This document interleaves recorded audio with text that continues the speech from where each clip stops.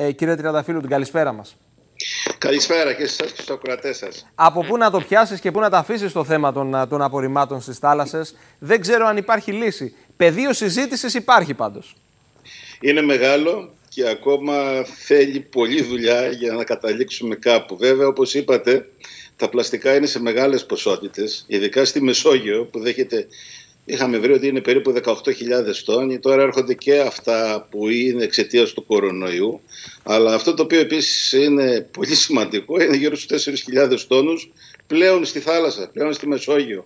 Είναι αυτά τα οποία καταλαβαίνουμε, βλέπουμε, αλλά να πούμε ότι είναι και αυτά που δεν βλέπουμε, τα οποία είναι τα μικροπλαστικά.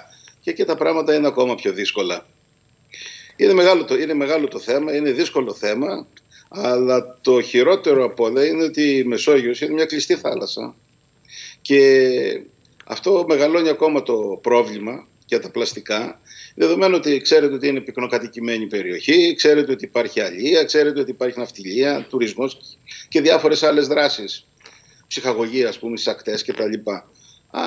Και αυτό συμβάλλει ακόμα περισσότερο στο πρόβλημα. Πρόβλημα υπάρχει, το καταγράφουμε, αναφερόμαστε σε αυτό λύση υπάρχει, φρένο μπορεί να μπει; Έχετε απόλυτο δίκιο σε αυτό και θα σας βοηθήσω.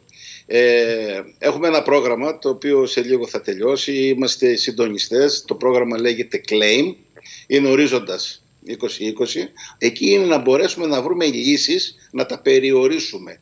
Να το λύσουμε δεν νομίζω ότι θα λυθεί εφόλης της ύλη, αλλά μπορεί να περιοριστεί. Ποιος είναι ο στόχος; Ο στόχος είναι να φτιάξουμε τεχνικές και διάφορες τεχνολογίες, καινούργιες δεν υπάρχουν, όπως ξέρετε, είναι ένα καινούριο πρόβλημα, που να μπορέσουμε να τα μειώσουμε.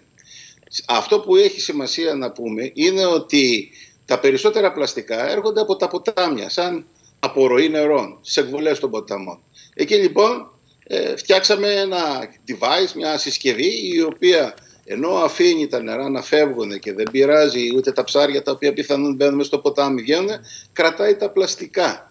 Αυτό το έφτιαξε το ΕΛΚΕΘΕ μαζί με μια εταιρεία, τη New Naval, η οποία κάνει αυτή τη δουλειά. Έχει και τέσσερα επίπεδα για να μην συμπιένει συνέχεια να τα βγάζεις, να τα σηκώνει κτλ. Και, και να μπορεί να εφορτώσει το δεύτερο επίπεδο, το τρίτο επίπεδο και ούτω καθεξής, ώστε να μπορείς να κάνεις τη δουλειά. Σκεφτείτε ότι το 80 με 90% των πλαστικών στην παγκόσμια θάλασσα έρχεται μέσα από 10 ποτάμια. Τώρα, αυτό είναι ένα τεχνολόγημα, ας το πούμε. Το δεύτερο που είναι, είναι η πυρόληση. Ωραία, τα μαζέψαμε τα πλαστικά. Τι θα τα κάνουμε; Ξέρω ότι υπάρχει μια μεγάλη δυσκολία και δεν τα αναλαμβάνουν εύκολα. Ότι οι περιφέρειες, ούτε οι Δήμοι. Να σου πούνε ότι εμείς θα κάνουμε ανακύκλωση ε, κτλ.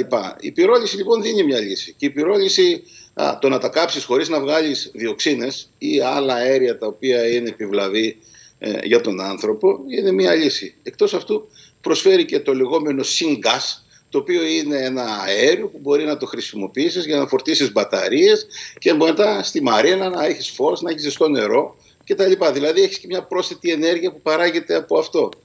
Ένα μεγάλο μεγάλο πρόβλημα, όπως σας είπα, είναι τα μικροπλαστικά. Τα μικροπλαστικά δεν τα βλέπετε, δυστυχώς, και είναι, βρίθουν εκεί μέσα. Μικροπλαστικά παράγουμε συνέχεια μόνοι μας. Δηλαδή οι κυρίες με την απολέπιση, ο αφρός ξυρίσματος, τα σαπουάν, τα σαπούνια, όλα αυτά έχουν μέσα μικροπλαστικά. Αυτά τα μικροπλαστικά ή Χωρίς να τα βλέπουμε καν.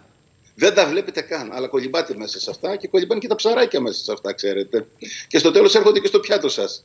Μάλιστα. Είδατε μια λοιπόν, αλυσίδα, μια αλυσίδα επιπτώσεων, όπως το είπατε. Έτσι είναι, έτσι είναι. Λοιπόν, αυτά λοιπόν έρχονται από πού, από τους βιολογικούς.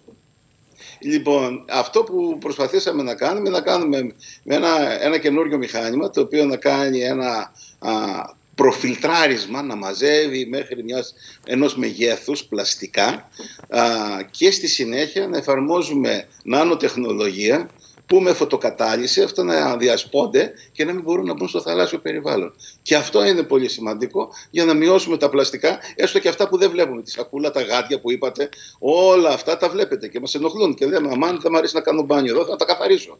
Αλλά τα άλλα δεν τα βλέπεις. Δεν τα βλέπει κανείς δεν τα βλέπει κανείς. Και αυτό είναι ένα μεγάλο. Κύριε Τριανταφύλου, πρακτικές συμβουλές και να κλείσουμε με αυτό στον καθένα από εμάς. Πώς μπορούμε να βοηθήσουμε άνθρωποι που δεν έχουν καμία απολύτως σχέση, δεν είμαστε επιστήμονες, δεν σχετιζόμαστε με το αντικείμενό σας. Πώς μπορεί ο καθένας να βοηθήσει από το, από, την, από, το, από το σπίτι του, από την καθημερινότητά του; Έτσι.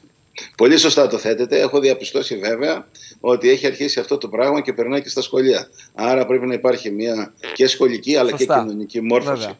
Αυτό που πρέπει να καταλάβουμε πολύ καλά είναι πάρα πολύ σημαντική η ανακύκλωση. Λοιπόν, να μπορούμε να τα μαζέψουμε τα πλαστικά, να μην τα πετάμε. Α, και κάτι άλλο το οποίο θέλω να το. Βέβαια, θα σα ενοχλήσω με αυτό που θα πω. Μην περιμένετε να φύγουν τα πλαστικά από τη ζωή μας. Είναι ένας φτηνός, εύκολος τρόπος και έχει γεμίσει το σύμπαν. Αλλά πρέπει να έχουμε την ευαισθησία να μπορούμε να τα μαζεύουμε ώστε να τα ανακυκλώσουμε. Εδώ, βέβαια, θέτω ένα θέμα. Για να το ακούσουν όλοι. Ε, πρέπει η πολιτεία οι διάφοροι φορείς να αρχίσουμε να σκεφτόμαστε για να φτιάξουμε διάφορα εργοστάσια τα οποία να κάνουν ανακύκλωση πλαστικών. Τα πλαστικά είναι πάρα πολλά και τα, οι δυνατότητές μας για ανακύκλωση πλαστικών Μάλιστα. πάρα πολύ λίγες. Κύριε Τριανταφύλου, να σας ευχαριστήσω θερμά.